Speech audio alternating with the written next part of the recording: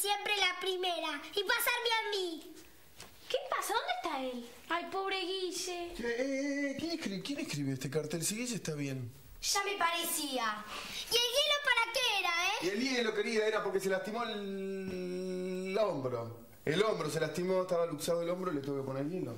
Oh, qué lástima. Yo que pensaba que chorreaba sangre por todos lados y que podía jugar a los vampiros. Ay, ¿Es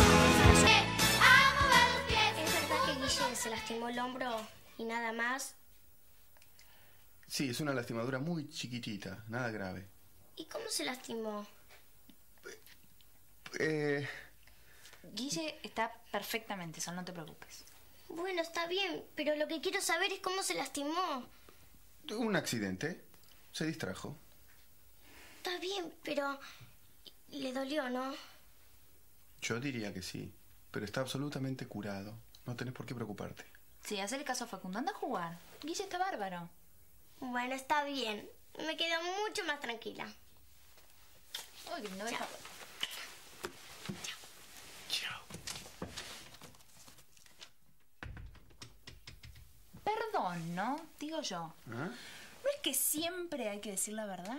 Sí, salvo cuando está en juego el honor de un hombre. Señora Carmen, acá no hay ningún reloj de Matilde. Sí, ya buscamos por todas partes. ¿No se lo habrá perdido en otro lado? No se me perdió, me lo sacaron. ¿Qué cosa? Déjense de hablar y sigan buscando hasta que aparezca. Ah, un momento, esperen. ¿Alguna sabe dónde está Cintia? Salió. ¿Con el permiso de quién? ¿De Belén? ¡Vos cerrá el pico! Déjese de gritar, Matilde. Señora Carmen, ¿por qué piensa que el reloj de Matilde está en nuestra habitación? Porque tenemos razones para suponer que Cintia le robó el reloj a Matilde y lo escondió aquí. ¿Cómo? Cintia no es ninguna ladrona. ¡Eso! A ver si se dejan de gritar porque se la van a tener que ver conmigo. Mira quién habla de gritar. ¡Silencio! No quiero escuchar una sola contestación más. Irrespetuosas. Cuando vuelva Cintia ya vamos a hablar.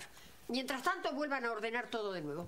Pero estamos cansadas. Si saben lo que les conviene, háganme caso. Vamos, Matilde. Sí, señora.